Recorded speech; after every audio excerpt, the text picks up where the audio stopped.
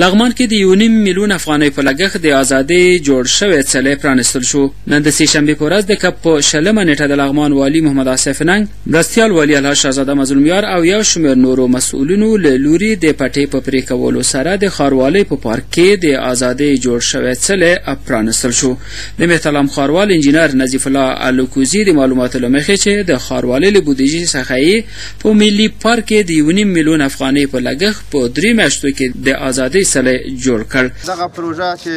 د ازادۍ څلی یا منار ده د درېیو میاشتو په جریان کې د دې کار تکمیل شو او د یو نیم میلیون افغانیو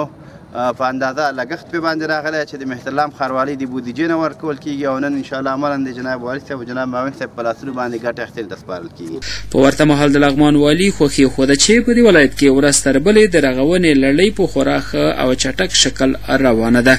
نوموړي وویل چې د ازادۍ یو سلو یو کلیزې تبه له دې ورواخوا په نورو برخو کې هم ښه ډېر کار وشي او تمه ده چې دغه مراسم په خورا شاندار ډول سره ونمانځل شي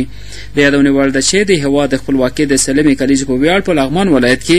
درې شپېته بېلابېلې برنامې وې چې یو شمېر د ازادۍ په ویاړ د رغونې پروژې هم وې چې د روان کال تر پایه باید بشپړې شوې وای چې له جملې د ازادۍ څلی هم پرانستل شو